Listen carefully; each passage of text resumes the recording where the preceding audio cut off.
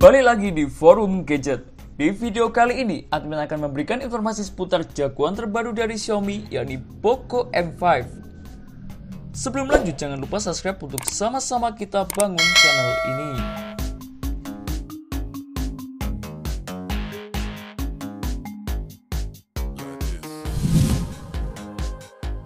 Vendor smartphone Poco tampaknya akan kembali memboyong produk terbarunya ke Indonesia. Hal itu mencuat berdasarkan dua ponsel misterius Poco yang kini sedang lolos uji sertifikasi sertifikat tingkat kandungan dalam negeri atau TKDN. Sebagai sebuah isyarat sebelum perangkat tersebut bisa dipasarkan di tanah air.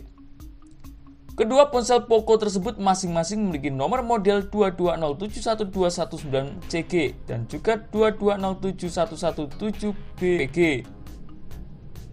Dalam laman sertifikasi TKDN Kemenperin, ponsel Poco dengan model 220712119CG lolos uji sertifikasi pada tanggal 12 Agustus 2022. Sementara untuk model Poco 2207117BPG lolos uji sertifikasi pada tanggal 18 Agustus 2022.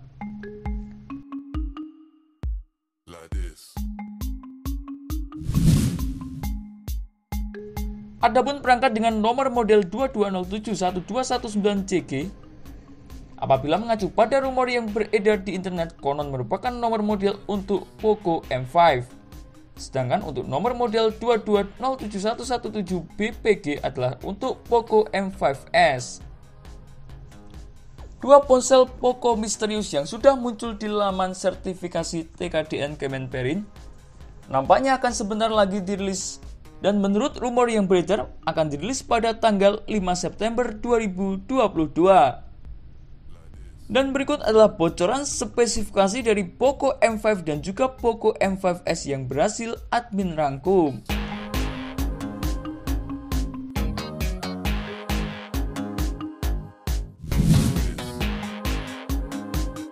Tak banyak informasi yang kami dapat mengenai spesifikasi daripada Poco M5.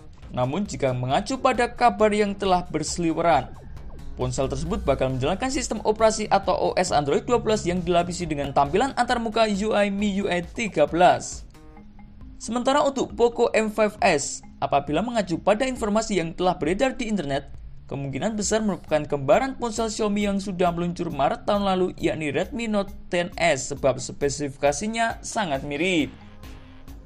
Poco 5s kemungkinan bakal mengadopsi layar AMOLED berukuran 6,43 inci dengan resolusi Full HD+, dan akan ditenagai oleh chipset MediaTek Helio G95 yang dipadukan dengan RAM 6GB dengan memori internal 128GB.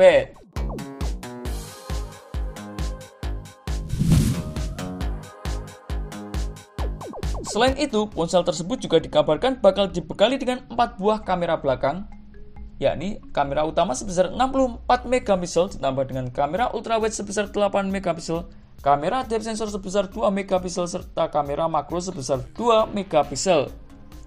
Sementara di sektor depan ada kamera selfie sebesar 13 megapiksel. Serta ditopang dengan baterai berkapasitas besar yakni 5000 mAh yang sudah didukung oleh pengisian daya cepat 33 watts. Belum bisa dipastikan apakah rumor spesifikasi ini benar.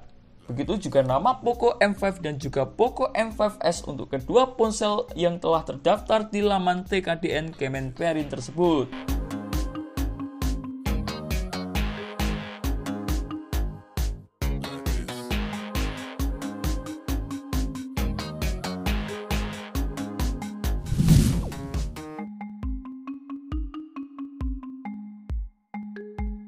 Namun apabila akurat, maka Poco M5 dan juga Poco M5s pastinya bakal menjadi suksesor dari Poco M4 series atau Poco M4 Pro yang sudah diperkenalkan Poco Indonesia sekitar akhir Maret lalu.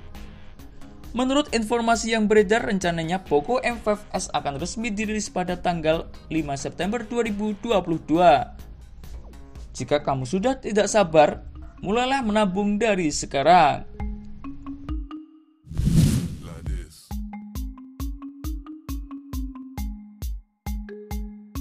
Dan itulah beberapa informasi mengenai jagoan terbaru dari Poco yakni Poco M5 dan juga Poco M5s.